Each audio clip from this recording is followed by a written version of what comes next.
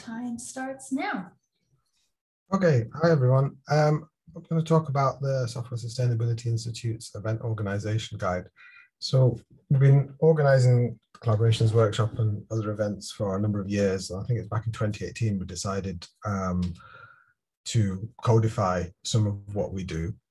Um, so this is really it's a really a guide about how SSI organizes events, and it takes the view um, of events as projects with different stages.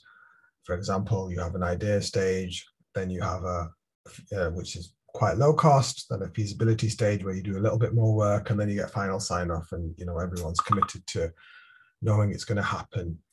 Um, so one of the useful things that come out of this is that we've created a number of um, templates, you know, venue requirements, budget, an event timeline, an event duties roster.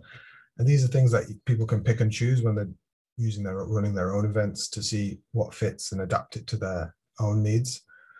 It's very much we take the the view that it's very much experiential.